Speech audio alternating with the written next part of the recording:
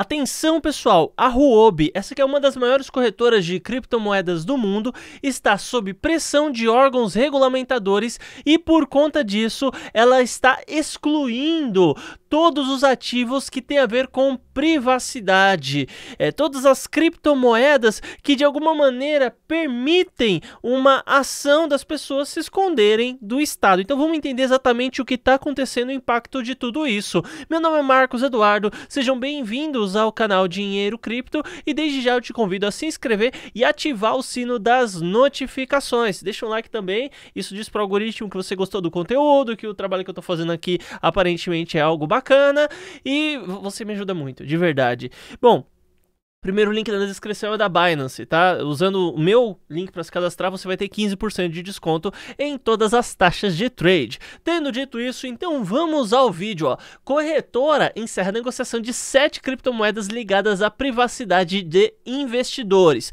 A questão de uma corretora deslistar alguns pares ou deslistar diretamente moedas. É de sua plataforma é algo totalmente normal. A Binance, que é a maior do mundo, faz isso direto, é uma coisa comum. Isso porque é, talvez exista falta de interesse dos investidores. Então, por que a corretora vai acabar disponibilizando uma moeda que as pessoas não têm muito interesse, né? Mas assim, olha só as moedas que a Huobi deslistou: Monero, Zcash, e Dash, tá? Essas moedas, elas especificamente são ligadas à privacidade. Inclusive dessas três, a Monero é uma moeda que a gente pode considerar como a, aquela que tem os conceitos raiz, conceitos raízes, enfim, conceito raiz em torno da privacidade. Quando eu digo privacidade, é em relação principalmente ao Estado. Então, a gente tem que entender que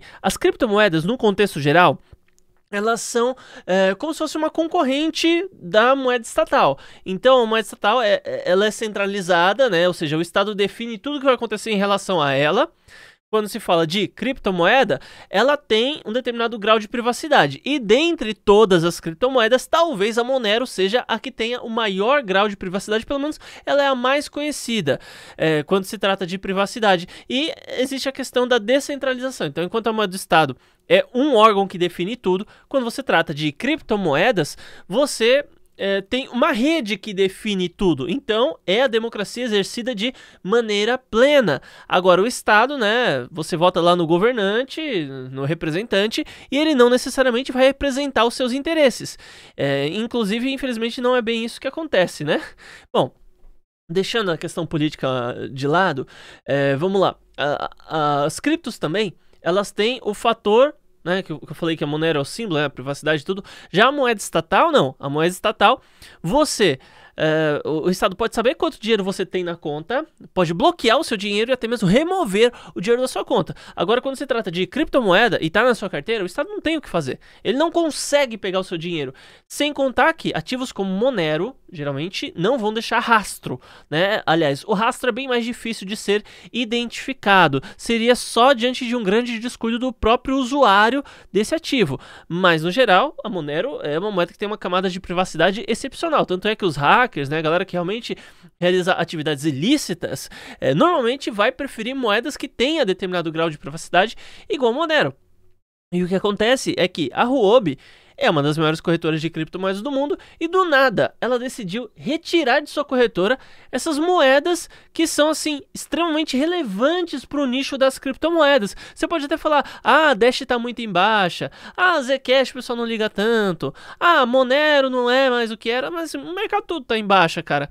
Né? E, e no geral essas moedas ainda são muito importantes para o nicho cripto. Então por que a Huobi iria tirar? Quando questionada a respeito disso, a Huobi afirma que ela está seguindo regu órgãos regulamentadores, né? Tanto é que, abre aspas, a Huobi Global cumpre rigorosamente as políticas de conformidade de todos os países e regiões e sempre se esforça para proteger os ativos de nossos usuários. Foi o que eles falaram em relação a, é, a esse questionamento, né? Então, o que a gente percebe? Percebe que o, se ele está fazendo isso para por conta das políticas estatais e tudo mais, é porque vem órgão regulamentador lá bater na porta e encher o saco deles falando a respeito disso. Por quê? O Estado está extremamente insatisfeito com as criptomoedas. E a verdade é que nós não vivemos em uma real democracia. Não existe nenhuma busca sincera pela democracia por, por parte da, da, da grande maioria aí da, da classe política. Nós vemos em uma emulação de democracia, uma simulação, talvez. Então, assim, o, o Estado não está interessado em o que é melhor para mim, o que é melhor para você. Os bancos não estão interessados. Está todo mundo só querendo ganhar dinheiro. O Estado só quer é, fazer a manutenção da sua própria máquina e fazer com que tudo continue girando, eles sabem que eles não conseguirão impedir as criptomoedas, cancelar, fazer com que elas sumam, mas ao mesmo tempo eles sabem que eles têm um poder muito forte para atrasar o avanço das criptos. Então, por conta disso, é que vemos tal tipo de ação, né? As corretoras estão recebendo uma pressão regulamentar uma pressão de, de regulamentação, órgãos regulamentadores, enfim, para que não haja de maneira nenhuma privacidade. Para que as pessoas não tenham privacidade. E você pega como, por exemplo, aqui no Brasil, tem gente que chega e critica a Binance. Ah, mas a Binance, ela tá entregando os dados para a Receita Federal. Na verdade, a gente não tem nem certeza se a Binance está fazendo um repasse. Mas é, o que acontece é, a pessoa fala assim: ah, não, a Binance está passando, não, não vale mais a pena trabalhar com a Binance, não faz sentido trabalhar com. Eu falo o seguinte: poxa, não, beleza, é, você não vai trabalhar com a Binance, mas você vai trabalhar com quem? Com a Mercado Bitcoin? Você vai, o que? Na, na Foxbit. Todas as corretoras brasileiras já fazem o repasse para a Receita Federal.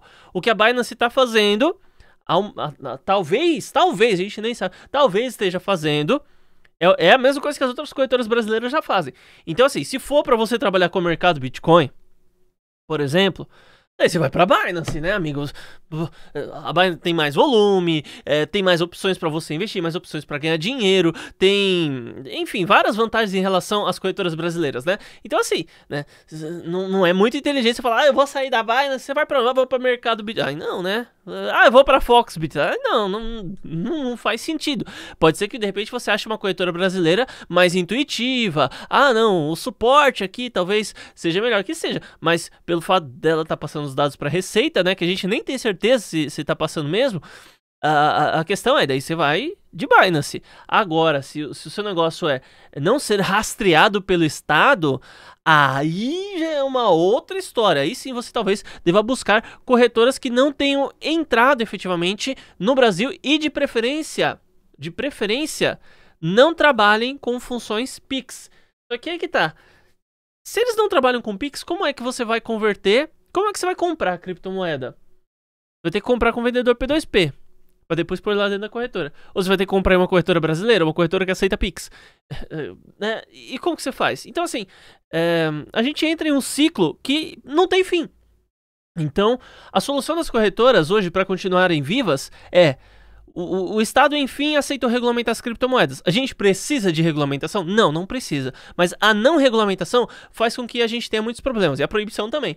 Por quê? O investidor institucional, ele ele quer trabalhar com criptomoedas e ao mesmo tempo ele até certo ponto pede pela regulamentação. Mas não é porque ele quer que seja regulamentado, né? É que é o seguinte, é complicado. Você vai lá, contrata funcionário, é, assina, faz assinatura de sistema, é, contrata terceirizado e faz todo o investimento para desenvolver algum produto ou serviço relacionado a cripto, daí chega o Estado amanhã com a lei mirabolante e inviabiliza todo o seu trabalho e faz você jogar seu tempo no lixo e, e, a pessoa se lasca, né? O empresário se lasca. Porque ele tem, ele tem funcionário, ele tem, às vezes, bens no nome da empresa, enfim, né? É diferente de um, um empresário e uma pessoa física uma empresa, uma pessoa física, é, buscando ideais libertários, né? Pô, o empresário ele vai perder a fonte de renda dele, ele vai perder o dinheiro dele, ele vai ter que pagar rescisão para funcionário, vai ter que pagar multa, a vida dele pode ficar um inferno por conta do Estado. Então, meio que ele fala assim, não, deixa eu, deixa eu dar o arrego aqui do Estado, querer uma regulamentação, porque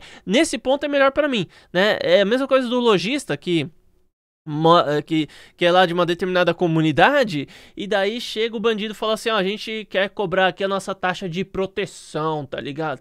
Aí beleza, vai cobrar a taxa de proteção. Proteger contra quem? Contra os próprios, os próprios bandidos. Então, peraí, eu tô pagando uma taxa pro bandido não vir roubar o dinheiro que ele roubaria se, se eu não tivesse pagando taxa. Né? Então é mais ou menos o, o que o Estado está fazendo. Né? E, e esses, e, e, esses empresários são como esses lojistas aí que vivem em comunidades que tem que pagar um arrego para comuni para bandidagem. Então não é muito diferente, tá? E esse tipo de coisa que a gente acabou de ver a Huobi deslistando ativos que são é, que insatisfazem o Estado vai se tornar padrão de mercado. Eu penso que isso daí vai ser algo muito, mas muito comum. Inclusive, as corretoras brasileiras, que têm uma quantidade inferior de tokens, né, uma quantidade menor de criptomoedas, talvez também para evitar problemas, é, elas que já não têm nem listado não vão listar esses ativos, porque elas sabem que talvez vão ter problemas com, com tudo isso aí, tá bom? Então, inscreva-se nesse canal, ative o sino das notificações e deixe aquele like maravilhoso. Muito obrigado por tudo e até mais.